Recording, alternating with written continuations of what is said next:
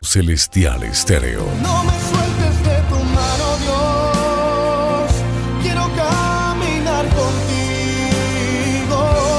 Aunque sé que no he sido el mejor. Pero sé que tú me entiendes. No me sueltes de tu mano.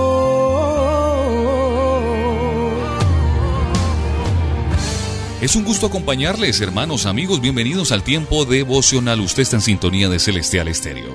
Una mañana más que Dios nos regala, una mañana más, un privilegio poder estar con ustedes acompañándolos en el tiempo devocional. Les habla Héctor Iván Alarcón. Veamos, señor Morales. Acuéstese en este sillón y yo tomaré unas notas. Oh, ok, Ahora, ¿cuál es el problema? creo que soy paranoico. ¿Paranoico, señor Morales? Sí, siento que muy adentro sé lo que es bueno y lo que es malo. Sé cómo debo comportarme y que no hago lo que sé que debo hacer. Y sigo poniendo excusas de por qué no hago lo que debería. Y tengo miedo de que un día voy a estar frente a Dios y que voy a tener que dar cuentas y que no voy a tener excusas. ¡Ah! ¿Qué fue eso? Nada, señor Morales. Solo rompí mi lápiz. Entonces, ¿cree que estoy paranoico? No, no lo está. Entonces, ¿no estoy paranoico? Para nada. Paranoia es cuando tus temores están basados en hechos falsos. Ah, entonces todo a lo que le tengo miedo es cierto.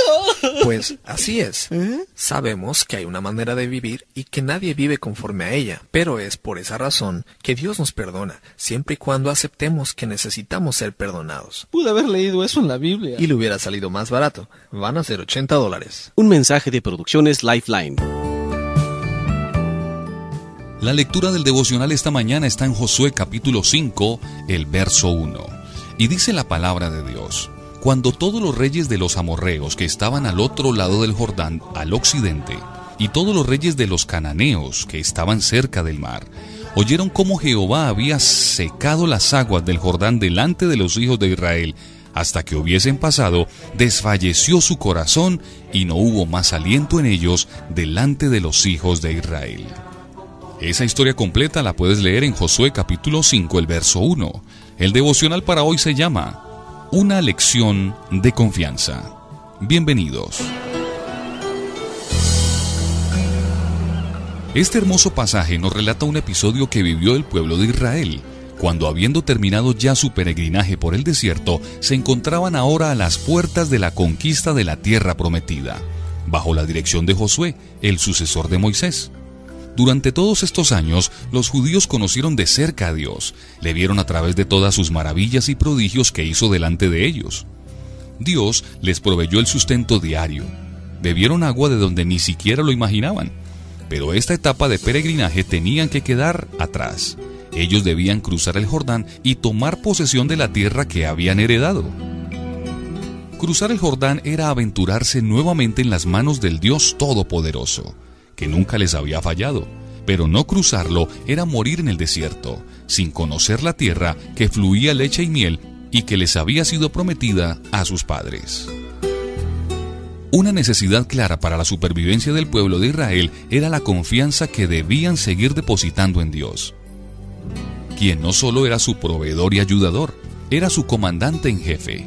Así se lo comunicó un ángel del Señor a Josué cuando se le manifestó para darle instrucciones de parte de Dios sobre la toma de la ciudad de Jericó, diciéndole que venía como príncipe del ejército de Jehová. Esa historia está en Josué capítulo 5, el verso 13 al 15. Aunque la conquista no era una tarea fácil, no estaban solos, porque Dios había prometido estar con ellos y así se lo estaba demostrando. El éxito de sus vidas, de ahí en adelante, y como hasta ahora lo habían vivido, dependía de varias cosas. Su fe, su confianza, la obediencia, la madurez, para enfrentar las diferentes situaciones y la oración. Con seguridad iban a encontrar dificultades y obstáculos, pero debían estar convencidos que mientras estuvieran de la mano de Dios, nadie podría hacerles frente. Hoy nosotros, como los hijos de Dios, podemos estar a punto de cruzar el Jordán. Estás tal vez en un momento definitivo para tu vida. Estás tal vez esperando que se abra y que des el paso definitivo al cumplimiento de las promesas de Dios para ti. Pero es posible que nuestro corazón esté lleno de temores, de dudas e incertidumbre. Así que decidamos oír la voz de Dios, que nos dice que el tamaño de los obstáculos no puede impedir que marchemos hacia la victoria. Dios no quiere que nuestro corazón desfallezca ante las adversidades. Él puede hacer que crucemos el Jordán en seco. y de esta manera nos dará las bendiciones y la provisión necesaria para disfrutar de sus maravillosas promesas. A esta hora de la mañana, de la tarde o de la noche, incline su rostro y hablemos con Dios. Señor Jesús, nuevamente estoy aquí, dándote gracias por permitirme vivir un nuevo día cerca de ti.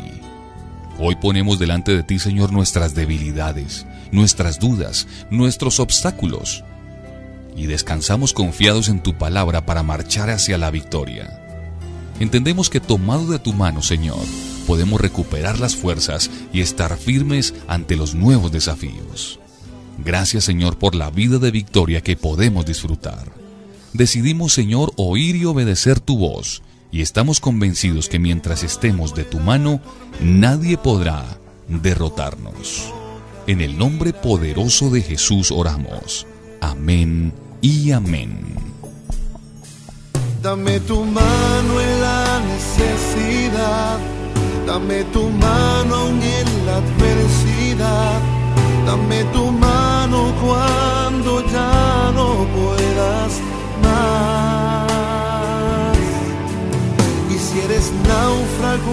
la tempestad, y si tu fuerza se las llevó el mar, dame tu mano que hoy te quiero levantar.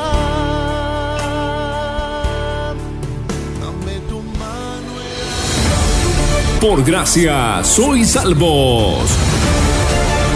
Llega el evento más esperado del año. Esperado del año. Mega Vigilia por su gracia. Predicadores: Pastor Carlos Mosquera, William Muñoz y Omar Martínez. Cantantes: Afrozón Pentecostal, Mocara, Vida Nueva, Sabá, Evet Orrego, Brandon Echamarría, G7, Gena, Fusión Va.